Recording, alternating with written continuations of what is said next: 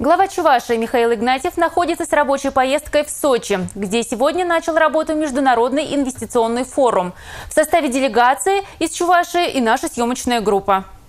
Распорядок дня форума довольно плотный. Уже 8.30 по московскому времени начался деловой завтрак, где под руководством председателя правления Сбербанка Германа Грефа обсуждался актуальнейший вопрос – поддержание макроэкономической стабильности. Что важнее – сбалансированность бюджета или ускорение роста? Насколько эффективны меры бюджетного стимулирования? Достаточно ли ресурсов, чтобы стимулирование было объемным, а его эффект ощутимым? В дискуссии приняли участие министр финансов России Антон Силуанов, министр экономического развития России Алексей Алексей Улюкаев, ректоры ведущих вузов экономического профиля. Было отмечено, что без балансированного бюджета не может быть и экономического роста. Участники делового завтрака выделили ключевые точки эффективности бюджета. Не надо увеличивать налоговую нагрузку на региональные бюджеты, обеспечить стабильность пенсионных накоплений и повысить роль парламента при принятии бюджета. Неоднократно подчеркивалось, экономическая политика по всем ключевым позициям государства и система государственного управления должна соответствовать задачам экономического роста. Это очень хорошо понимают и главы регионов.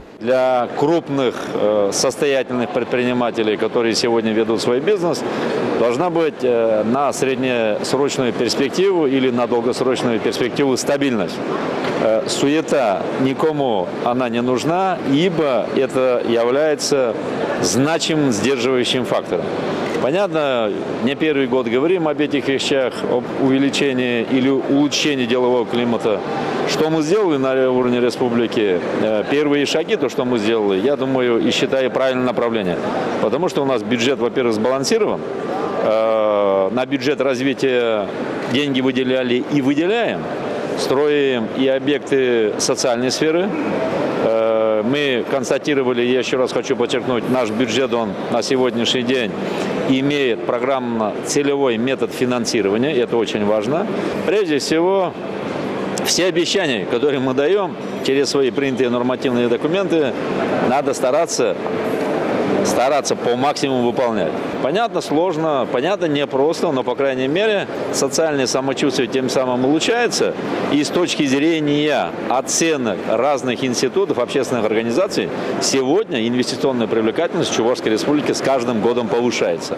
Сегодня же глава Чувашии Михаил Игнатьев провел встречу с руководством группы компании «Ренова». Обсуждались вопросы открытия завода «Хивели», перспективы дальнейшей загрузки производственных площадей «Химпрома», в том числе реализация инвестиционного проекта строительства производства перекиси водорода мощностью 50 тысяч тонн в год. Вопрос, который мы пообсуждали, это ход и подготовка к промышленному запуску, потому что технологический запуск завода состоялся. Там идет наладка основных производственных систем и оборудования. Я думаю, что к 10 октября мы готовимся такой торжественный запуск и выход уже на промышленное производство в объеме достаточном для исполнения собственных программ строительства солнечных парков, которые есть у Хевела. Елена Гальперина, Дмитрий Ковалев, Александр Петров. Республика из города Сочи. В деловой программе форума множество мероприятий, круглых столов, дискуссий, рабочих встреч. Сегодня, в частности, было подписано соглашение о сотрудничестве со Сбербанком. Оно предусматривает финансовое участие Сбербанка в значимых для Чувашии инвестиционных проектах на общую сумму более 5 миллиардов рублей. Также подписаны договоры о сотрудничестве Чувашии с городом Севастополем, Ставропольским краем, Ямал-Ненецким автономным округом.